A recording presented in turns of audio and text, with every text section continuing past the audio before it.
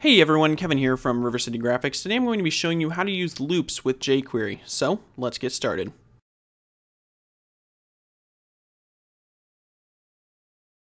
Alright, so here in Dreamweaver I have our files that we've been working on in the last few videos. Now if you haven't seen those videos, I recommend that you go and check those out because we have discussed concepts in those videos that we will be using in today's lesson. So to get started, I'm just going to click on my script.js file, and I'm going to start by commenting out a couple of lines that we created in our last video. That's going to be these two lines, these last two lines called my sentence and alert. So I'm going to put a forward slash in front of both of those. And what we need to keep is, of course, our document ready because we always need to have our code inside of that function. Then we also want to keep our nested array. So in the last video, we discussed the importance of arrays in storing information and multiple information and keeping it organized and things like that. So what we're going to be talking about today is how to make a loop in order to take and use this information more efficiently. So to get started, we're going to start by creating our loop, basically shell. In order to do that, you need to put a dollar sign and then a period, and then we're going to say each, and then an open parenthesis. Now, if you have code recommendations come up, you'll see that it says collection, callback, and then index and value. Now, the first thing is collection, which is going to be basically what you're selecting that holds your information. So in this case, it's going to be our variable, which is an array called my nested array. So I'm just going to put that name in. So my nested array. And you'll see that you need a comma, then a space, and you need a callback, which in this case is going to be a function. And then an open parenthesis and a close parenthesis, and inside of there we're going to have index and value. So inside of these parentheses I'm going to say index, comma, space, value. Okay, and then outside of this we need to close this off with basically uh, an open curly bracket, close curly bracket, a close parenthesis, and a semicolon. Okay, so now once you have this syntax ready, you're ready to actually start using your loop. So our loop is connected to our array with this code right here. So whatever is right here needs to be the same as the variable, uh, which is holding your array that you have up here. So that's how those are actually linking. So what we're going to be able to do is take and use this loop to go through our array one time and then we're going to go through it another time and another time. And so it's going to be going through it as many times as you have arrays. So in this case we have Kevin Cool which is one array. We have Bill Awesome which is another array because we have multiple ones within the same. So and then we have a third one right here which is Tom Fantastic. Now if you remember from the last video this is a concept we discussed. This one is going to be the number zero represents this entire array this one is 1, and then this other one is 2.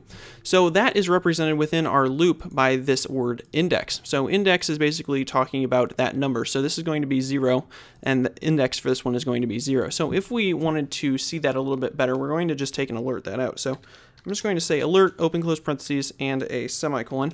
And then inside of our parentheses, we can take and just put the variable index.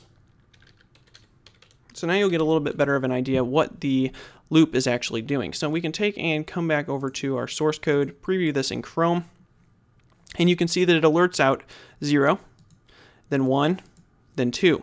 So it's put out three alerts. Now in our code, we've only put it to say one alert. You can see right here in our script, you can see we've only written one alert, but yet it came up three times and each time it had one more number or 0, 1, 2. So it was adding 1.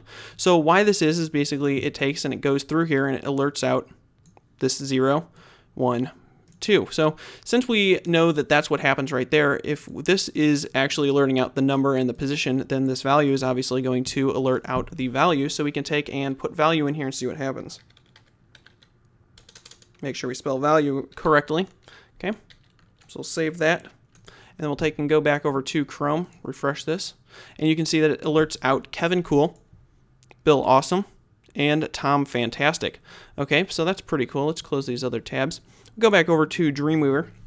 So now you can see that it's alerted out the entire value of our array. So we got both of Kevin Cool, Bill Awesome, and Tom Fantastic. So since we learned in the last one that you can actually take and use these square brackets in order to specify down what you want, we can start to get a little bit more fancy. So if we wanted, say, the value of each of these things, the first thing, which was going to be Kevin, then it's going to be value, which is going to select all of these, and then it's going to be the number 0. Okay, so we're going to take and put in square brackets the number 0, and we can refresh that. And so now it's going to say Kevin, Bill, and Tom if we did everything correctly. So you'll see it alerts out Kevin, Bill, and Tom. Okay. So now what we can do is maybe take and make a sentence so that you can see the real power of this because right now we're just kind of alerting more than one thing. So what we're going to do is make a sentence out of this. So I'm just going to cut out our value that we've been creating here, put our alert down, and we'll just paste this out. We'll actually make a new variable so we can make a sentence kind of like we did in the last video. So we'll just call it variable and we'll call it, uh, how about loop sentence. Okay, space equals space. And now we can actually start putting what we want in there. So the first thing is, of course, going to be our value 0. So this is going to get the name Kevin first. Then it's going to get the second time this loop runs, it's going to get Bill. And the third time it runs, it's going to get Tom. So that's what we have basically held in this. So every time it changes names.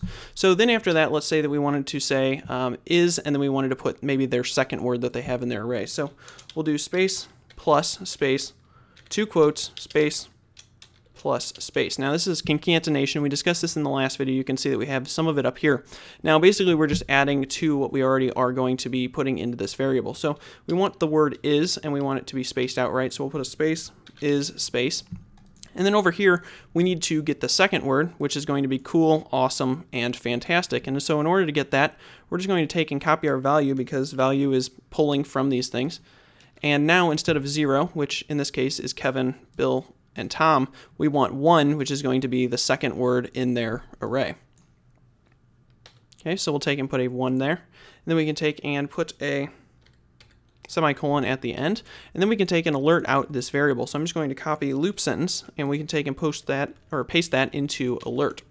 So we'll take and go back over to Chrome, and we'll see what we have. So we refresh, we get Kevin is cool, Bill is awesome, and Tom is fantastic. So if you remember from the last video, or if you didn't watch the last video, you can see from this code, what we were doing before is alerting out almost the exact same thing, except that we had to build this entire long sentence. Now, here we have two lines that creates three sentences for us. So if we wanted to do that same thing without using a loop, we would have to take and basically copy out each of these so we'd have three sets of these, and so it just becomes really troublesome. Now you might think, well, three three copies of that isn't really that much, but if you think about the possibilities of this, maybe your array holds a thousand items. You don't want to take and copy and paste this a thousand times, whereas two lines could do almost the exact same thing.